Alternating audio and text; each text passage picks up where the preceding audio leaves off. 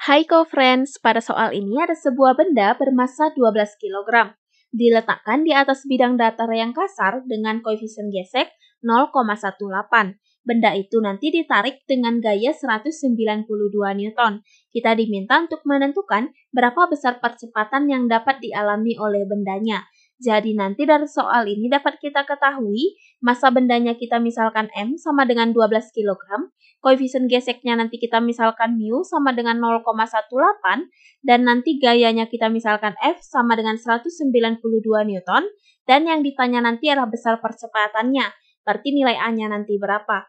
Nah, jadi nanti di sini dapat kita gambarkan ilustrasinya, ada sebuah bidang datar yang kasar, dan diletakkan di atasnya itu ada sebuah benda, dengan ditarik dengan gaya sebesar F.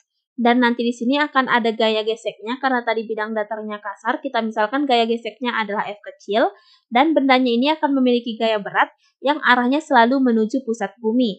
Berarti arah W-nya ke bawah, dan akan memiliki gaya normal pula yang arahnya selalu tegak lurus pada permukaan yang bersentuhan dengan benda. Berarti arah N-nya nanti ke atas. Nah, jadi nanti di sini eh, percepatannya itu nanti searah dengan arah gayanya. Maka nanti di sini sigma Fy itu sama dengan 0 berdasarkan hukum pertama Newton dan juga berdasarkan kondisi di mana bendanya tidak bergerak terhadap sumbu Y, namun hanya bergerak terhadap sumbu X. Maka berlaku sigma Fy sama dengan 0. Jadi nanti N dikurang W itu sama dengan 0, N bernilai positif karena dia berada di sumbu Y positif, sedangkan W bernilai negatif karena dia berada di sumbu Y negatif. Maka nanti di sini N itu sama dengan W, di mana W itu persamaannya adalah M dikali G. Maka nanti N sama dengan M dikali G, dan nanti di sini kita akan menggunakan nilai percepatan gravitasi yakni G sama dengan 10 meter per sekon kuadrat.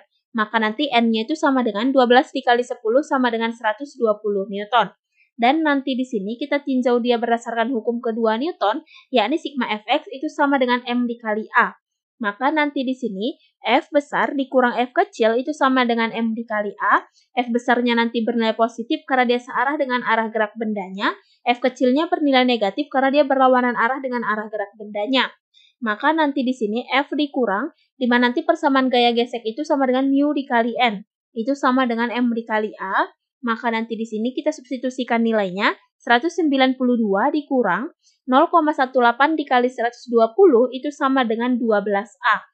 Jadi nanti di sini 170,4 sama dengan 12A, maka kita peroleh A-nya sama dengan 14,2 meter per sekon kuadrat. Jadi nanti besar percepatan yang dapat dialami oleh bendanya adalah 14,2 meter per sekon kuadrat. Demikianlah pembahasan soal ini, sampai bertemu di soal selanjutnya.